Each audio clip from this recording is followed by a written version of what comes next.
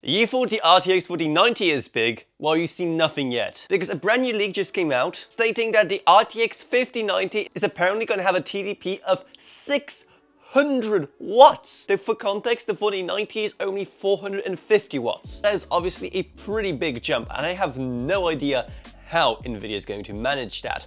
However, it is also kind of comforting in a strange way about the kind of performance we can expect, given how the RTX 5080 is supposed to be 10% faster than the 4090, all whilst being just 400 watts. And while the scaling there isn't perfect, it should give you some idea about the kind of performance we can expect from Team Green's next flagship launching well, we still don't really know that. However, EK of all people have given us a hint about when these graphics cards could be coming. As we covered recently on Weekends with Runner, they're not having the greatest time right now. And in this beautiful PR mess of a message they sent to OC3D, they did mention they are working on brand new GPU cooling blocks for some brand new graphics cards coming later this year. They didn't clarify anything further than that, though seeing how Radeon is most likely coming next year and Battlemage is still just one giant question mark, I guess that leaves only one option, and that is NVIDIA with the ginormous 5090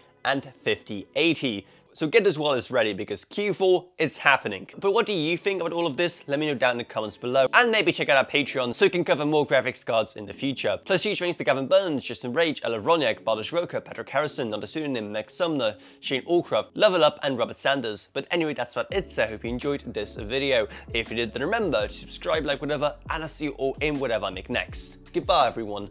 Cured. Bye.